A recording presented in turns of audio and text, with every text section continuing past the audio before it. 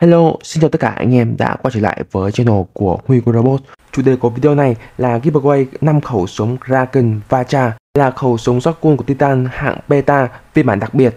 Các bước tham gia như sau. Đầu tiên, anh em phải đăng ký kênh và like cái video này.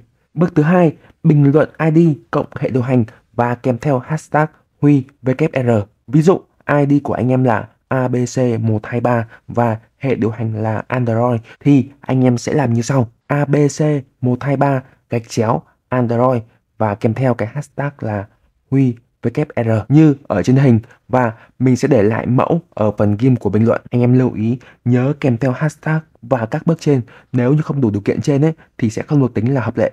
Kết quả sẽ được công bố vào ngày mai, là ngày 13 tháng 10. Sẽ có 5 người may mắn trúng giveaway. Mỗi người sẽ nhận được một khẩu súng Kraken Vacha. Chúc anh em may mắn nhé.